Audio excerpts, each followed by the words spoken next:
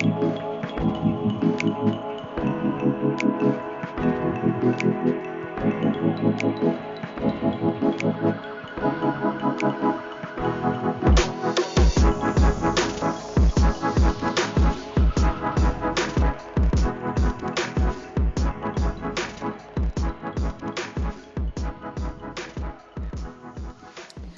Welcome to the Veriato Insider, a podcast covering some of the latest trends and things to know in cybersecurity. This podcast is sponsored by Veriato, which is an award winning employee monitoring and insider threat detection software provider. To learn more about how Veriato can help protect your company, check out veriato.com. I'm Dr. Christine Izuakor, your host for today's segment, and we're covering the role of the dark web in remote work risks. Now, there's always been a lot of ambiguity, you know, mystery, even fear, quite honestly, around this topic for some people, because um, also known as the cyber sort of uh, black market cyber criminals, right, are using the dark web to traffic sensitive information, conduct illegal activities, and much more. And so this, of course, impacts organizations when things happen like, you know, you find out that your critical data is being circulated or sold on the dark web and the global pandemic and this rise of remote work, right, has only made matters more critical and worse in some cases because companies are struggling to deal with, you know, putting the right controls and measures in place to protect their data from these leaks to begin with. And so before we dive deeper into this topic, I'd like to welcome Michael Owens as our special guest on today's podcast. An accomplished cybersecurity professional, Michael has 25 years of experience within corporate, government, and military environments, focusing on cybersecurity, InfoSec program building, threat intelligence, and much more. He holds a doctorate's degree in business administration, um, global business and leadership from California Intercontinental University, and a cybersecurity certification from Harvard University. Uh, Michael is currently the Business Information Security Officer at Equifax. He's also a veteran of the United States Marine Corps, a member of the World Affairs Council of Atlanta, a political partner with the Truman National Security Project, and serves as a state advisory committee or on the state advisory committee for the U.S. Global Leadership Coalition. So, such an amazing uh, lineup of experience and and you know certifications and accolades and everything in between, which means a ton of valuable insight and experience with us today. And so, so happy to have you here. Welcome, Michael, and thanks for joining us. Thank you, thank you so much. I appreciate it. Um, you know, I, I hate hearing my. Uh, my background kind of laid out like that sometimes like who is that guy like but uh, yeah i am you know i'm happy to be here to share you know some of my background experiences and things i'm finding um, you know working in the diverse spaces particularly over these last year right which has been challenging for so many people uh, so this opportunity to talk today is is great because hopefully we can quickly get to dive into some of that and you know help the, the listeners and viewers that are out there yeah, absolutely. And I, I can um, totally relate. I feel like sometimes when you hear your, your bio and all of these like amazing things, it's like, wow, that's really me. um, so yeah, definitely kudos, uh, kudos to you on that. So I know we've talked a little bit, but is there anything else you want to add or share more about your background or your experiences in general before we dive in? Uh, I would, I usually, you gave out some of my, uh, my educational background, but I am wearing my Georgia Tech pin today. Uh, so I'll give a shout out to the Yellow Jackets from Georgia Tech, which I got my, my master's degree from. And uh, I'm, I'm a product of an HBCU. I graduated from my undergraduate degree in computer and electronic technology from North Carolina A&T State University. So go Aggies. Love it. Thank you for that. Um, so yeah, once again, very pleased to have you as a part of this discussion. Um, let's maybe start by demystifying even what what is what does the dark web mean or what does it mean to you? Yeah, thank you. It's a, a, great question. And demystifying is probably the best term to use for that, uh, considering that it gets talked about a lot. You hear about it on TV and the news, but uh, what does it really mean? And um, it, it's really pretty simple. When I'm breaking in terms of, let's call it the visible web, uh, the deep web, and then the dark web. I think there's three different areas to really talk about. So, you know, we talk about just the regular internet. These are sites that uh, that are regular out there for browser, whatever browser you use, whether it's Chrome or um, Bing or whatever, that you could access. You type in a URL or an IP address and you can go to those sites. Um, outside of that, the vast majority of what constitutes the internet uh, is what's called the deep web. And this is anything that is not uh, indexed by the major Googles of the internet, right? So um, if they're not being indexed, that is the deep web. That could be things, um, anything that sits behind a paywall, any websites are out there and, or pages that have um, are, are blocked by specific um, membership login, anything that sits behind a login, anything that's not indexed, uh, any type of uh, blogs or anything that are out there that are not consumable just by going to the URL. All those things are considered a deep web. So, you know, you can imagine uh, there's vast, untold amounts of information and pages that exist within the deep web. And then there is the dark web. And the dark web or dark net is a section or component of the deep web, which means, first of all, it's not accessible via uh, and are not indexed, right? So you're not going to find it on Google or Yahoo on any type of, uh, of of um, indexing that is out there or you know any of the search engines. Uh, however, it differs from just regular information that's on the deep web in that it actually it's encrypted, and then you have to actually access it uh, by a specialized browser. You know, most common one is Tor, right? T O R. Uh, so it's basically a smaller subset of the deep web uh, where you know different types of information is out there. I mean, I'm not going to say it's all nefarious because it isn't, uh, but I don't think there's. I would I wouldn't be honest if I said that you know the majority of, of it out there is probably you know illicit in nature. We'll talk about that in a bit, but just to set the context right. I mean, I, I try to view it in three big buckets of what the internet is. That that part of the internet which is visible, uh, which we go to every day, all, all of our news sites, our sports sites, you know, um, all that type of stuff. And then there's the dark web, uh, or the deep web, I'm sorry, where you could imagine um, customer information may be emergency medical or medical records may be uh, specifics about you know company information sitting behind uh, firewalls and and and uh, user logins could be. And then there's the the dark web where um, it's not indexed and it is accessed only by certain types of encrypted browsers and the data there is encrypted. So you know the the technology behind it dig a little bit into the to the techie part of it um, it is by nature built to be uh, obscure is built to be um, hidden. The key to the dark web is that it's anonymous. Therefore when we talk about types of information that exists out there um, hide behind the fact that the deep web itself is meant to be nothing more than um, a series of links that you have to go through, which uh, are proxy servers that basically um, help to anonymize the actual person that's out there. I think, um, interestingly enough, the, the dark web itself can be traced back to the U.S. military. Um, you know, the U.S. military, you know, looking at Tor network um, and the the beginnings of it, uh, was developed back in the mid 90s by mathematicians and scientists at the US Naval Research uh, Facility that wanted a way to protect US intelligence. So, you know, what what has turned out to, to be, um, you know, potentially still using those those ways. And again, we could talk about this in a bit, but, you know, everything that goes on in the dark web or the dark net isn't nefarious, isn't criminal activity. Um, there is some positive uses for it as well.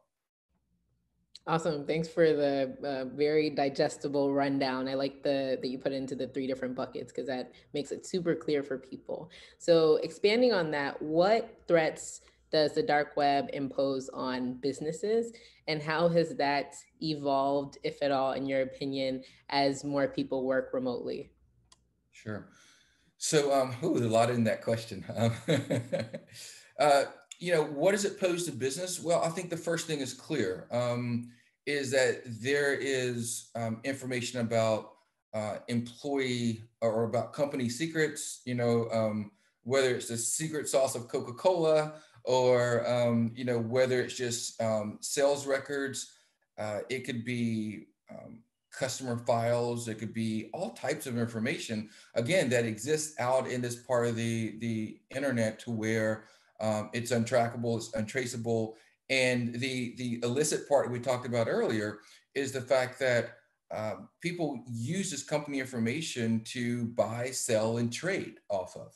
Um, and I, you know, we're not going to get into like the, the mechanics of that, but the bottom line is, is a risk for businesses because any information is out there that's stolen now. And, and we know that, you know, millions and millions of, upon records have been stolen, billions of records have been stolen.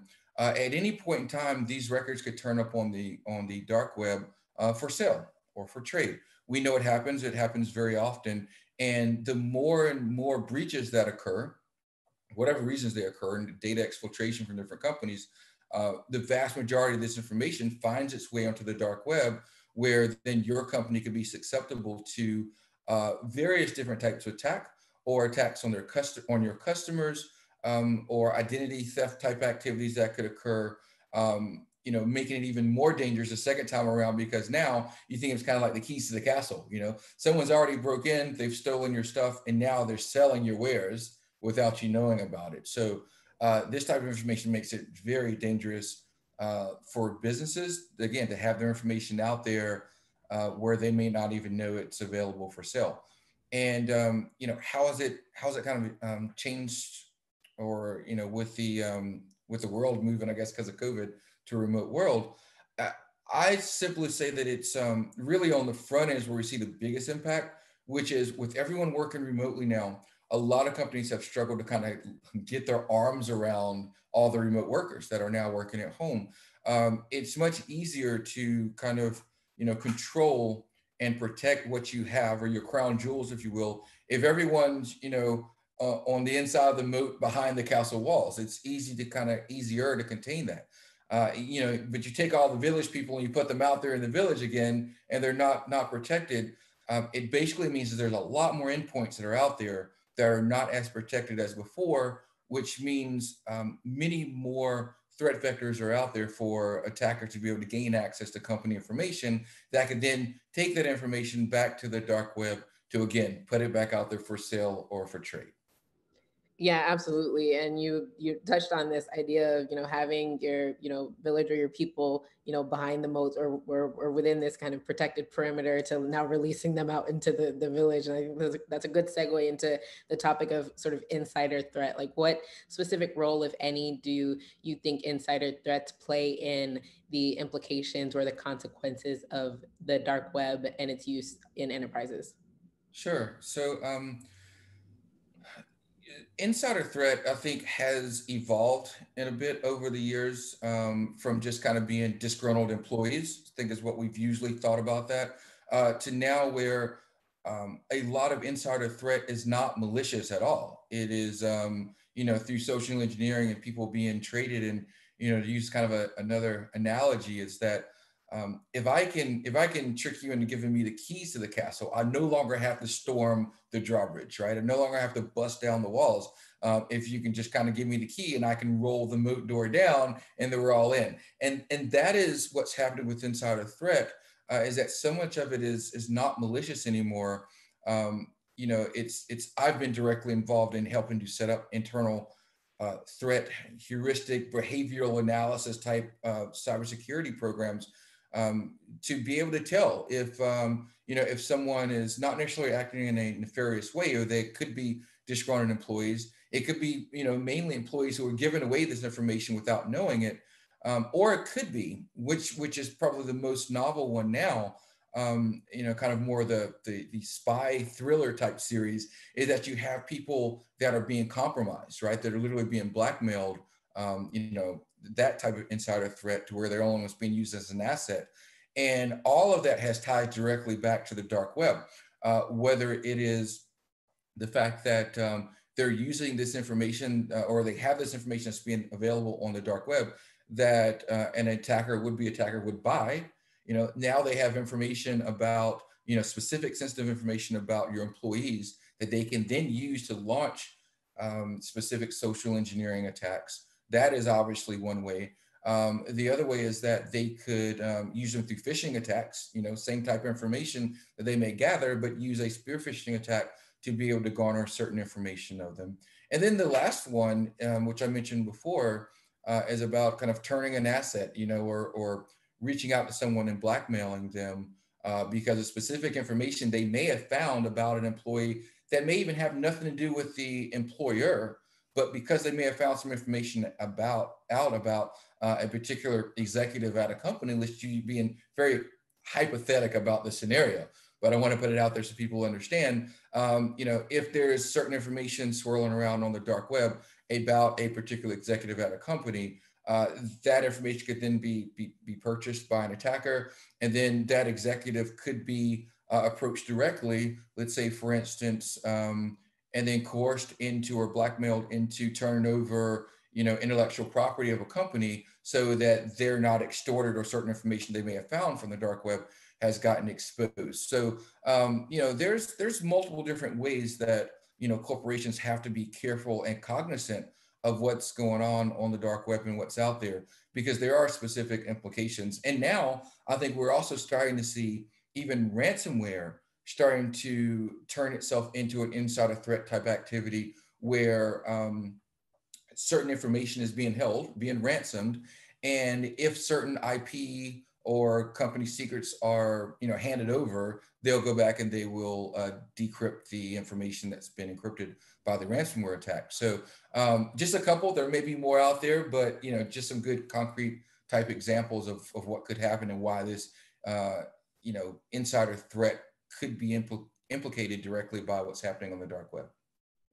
Yeah, that's a good point. I think uh, just to, to, touch on the last one on ransomware, a lot of people tend to look at ransomware as like some people are just asking for Bitcoin and, and all of that. But this play right. on asking for you know IP in exchange or asking for sensitive information um, is um, definitely an, an, an, interesting angle. So we've talked a lot about some of the, the challenges and the implications, right? But what can companies do about it? How can companies respond and reduce the impacts of this growing uh, risk around the dark web in their organizations? Yeah. So the um, first thing I'd say is um, if you don't have a strong culture within your organization around security, start building it now. Um, you know, culture is, is really the very first thing that I like to dive into um, in assessing kind of what what the security culture looks like. I mean, and, and basically by that, I mean how people judge their their level of responsibility when it comes to securing the organization and their assets, right? Um, you know, I still think far too many companies look at security as, you know, is IT's problem or or enterprise risk or just the you know global security department's problem. Um, but really, it's everyone's problem, right? And and that's really worth to focus on first and foremost. Just to understand there's a good building a good culture, and then secondly is cyber hygiene.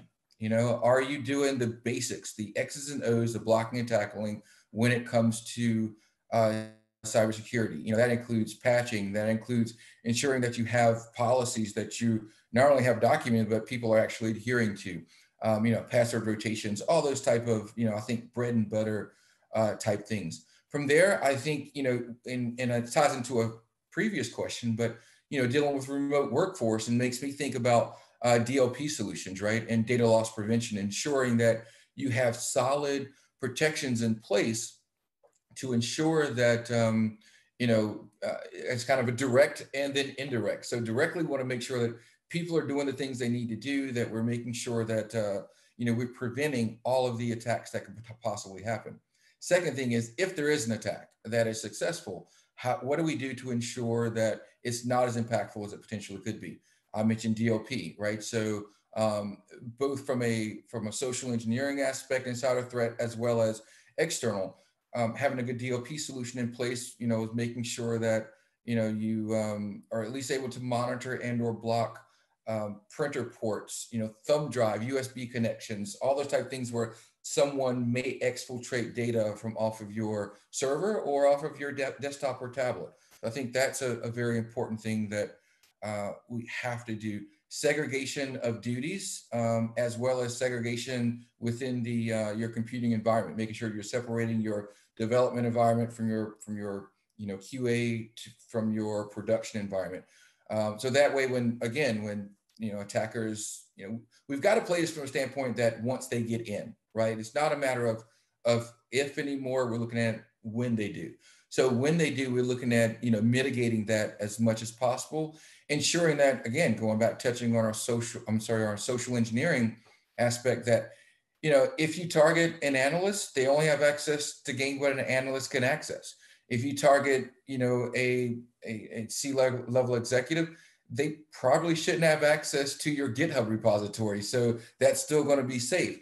Um, however, if you don't have those type of segregations in place, and you know you just have an environment where everyone has access to everything, uh, that is going to be a really you know serious problem to have. So you know the I know I'm talking about a lot of issues that don't directly relate to the dark web, but what our goal should be is to ensure that we stop things from getting on the dark web to begin with. If we can do that, we've we've met vast majority of the challenges there.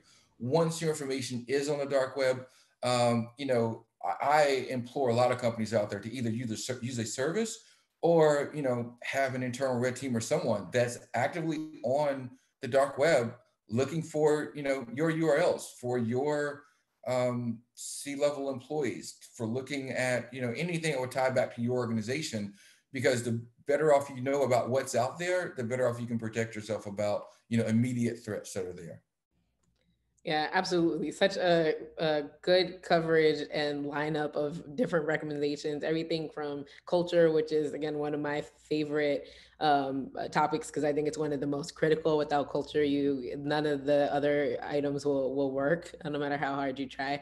Um, but yeah, taking that layered approach and um, covering all of that ground is super important. As we wrap up, are there any final thoughts that you want to add? I mean, I think. Uh I'll just mention something that you and I chatted about earlier, which was, um, you know, just to stay vigilant because, you know, the, the, the attack landscapes are always changing. Um, the threat vectors are constantly multiplying. And I think um, it's, a, it's a constant effort to ensure that what we're doing in the information security space um, is protecting, you know, key data and people's information and, and our corporate assets uh, and, you know, and we're charged with that. I think, you know, touching back on culture again can't be understated. So I'm happy you brought that up. Um, and but we have to follow it up with direct action. So um, again, you know, I just I just want to make sure that everyone takes the time to understand that security is everyone's issue. The the dark web is a scary place, um, but it is it's real. It's not some nebulous mystical thing. It, it's it's kind of like the cloud, right? It's it's someone else's servers somewhere else. So um, it, it's still a real thing. We can still protect information. Um, nothing's going to find its way onto the into the dark web magically, right? I mean, there's a vulnerability, there's a hole, there's a gap that's somewhere that's being exploited that's going to allow that information to get out there. So you know, the the more vigilant we are on the front end and having defense and layers and doing the things that we need to do, uh, we can stop information from getting out there on the dark web. And I think the last thing I'll say, just to, to turn uh, the patience a little bit because I mentioned this at the beginning is that everything on the dark web is not completely doom and gloom. Um, you know, we can speak about this specifically from a U.S. perspective, uh, but there's plenty of places around the world where uh, the internet is not as available and free as it is here in the U.S. Um, and some people have had to use the dark web uh, and the an, uh, anomaly that it possesses to be able to um, assemble to be able to you know talk about human rights and uh, to you know explore different atrocities that may be going on in different parts of the world. So sometimes in certain areas where they don't have necessary freedoms, uh, the dark web can be a place where the, the um, information can be used for good and is necessary because certain regimes or certain areas will not allow them to use the internet for a lot of things that we use it for, you know, good in the overall good every day. So, um, you know, I want to make it, you know, clear that the dark web isn't isn't all doom and gloom. Uh, there is some positive reasons for it, and again, it was, you know, created by our own uh, military as a, as a place to be able to um, communicate um, with a higher level of um, a higher level of security. So we want to keep that in mind as well. Yeah, absolutely. Really good point on the good and uh, bad, or however you want to frame that up. But there's definitely, you know, two sides to, to this thing.